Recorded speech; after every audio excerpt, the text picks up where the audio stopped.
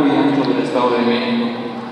un público cada vez más ávido de escuchar sus conciertos y participar activamente en la promoción y difusión de la música coral. Asimismo, ha representado orgullosamente a nuestro Estado en diversos foros nacionales e internacionales.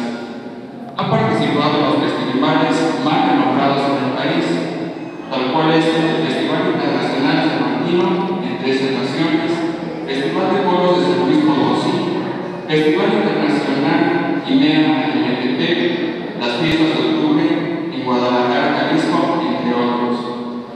Fue invitado a participar dentro de la colección Coral México, en las que están incluidas graduaciones de 34 agrupaciones corales del país.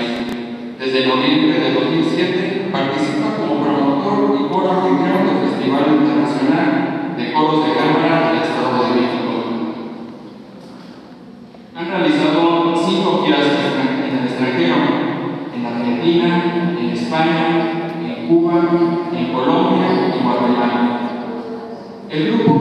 en tres ocasiones por el Consejo para la Cultura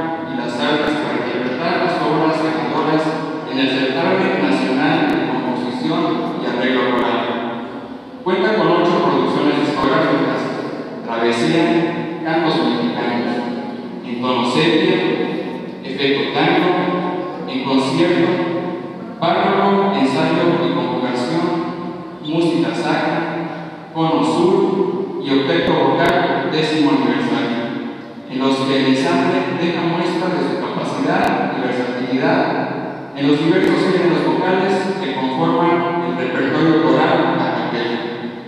Démosle una cordial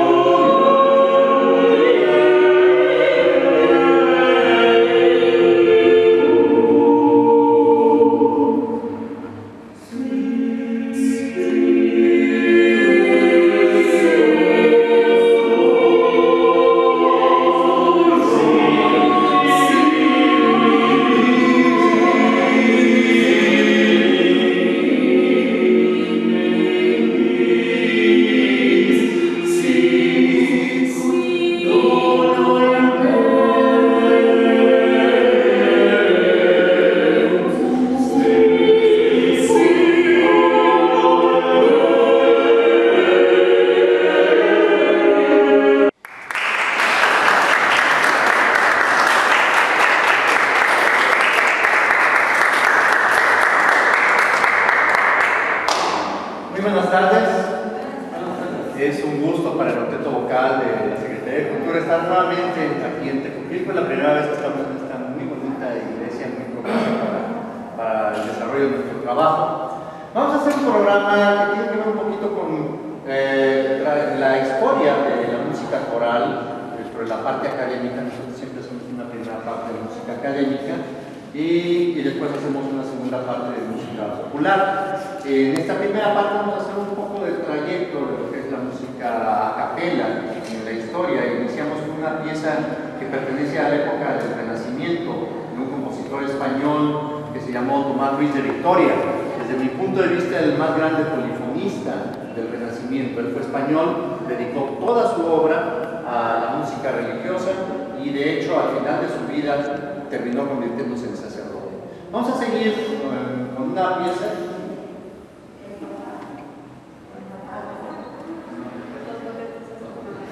Vamos a seguir con una pieza que es un poquito adelante en la historia, pero tiene que ver ya con, nuestra tierra, con la Nueva España, de un compositor que vino de España precisamente a América, estuvo asentado en México, ocupó cargos importantes en lo que en aquella época existía para los músicos, que era ser maestro de capilla de las catedrales importantes. Bueno, él se llamó Hernando Franco. La pieza que vamos a interpretar de él eh, es una obra que está dividida en dos, eh, son dos motetes a la Virgen María, motetes a Santa María. Están escritos en lengua náhuatl eh, y bueno, la música en la época virreinal muchas de las artes o todas las artes sirvió también para evangelizar y el hacer la música en lengua náhuatl pues, servía para acercarse a la gente de, de, aquellos tiempos que estaban tratando de, de, convertir a la religión. Los botetes a Santa María de, Hernando Franco.